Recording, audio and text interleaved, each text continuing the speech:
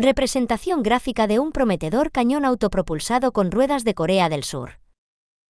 Corea del Sur ha anunciado el desarrollo de un nuevo cañón autopropulsado con ruedas. El cañón autopropulsado tendrá que competir con el francés César, el alemán RCH-155 y el israelí Atmos. Una maqueta de la nueva AP fue demostrada por Hamba Aerospace. Se indica que la base del nuevo cañón autopropulsado debe ser la plataforma utilizada en el Chunmoo MLRS con una disposición de ruedas de 8x8.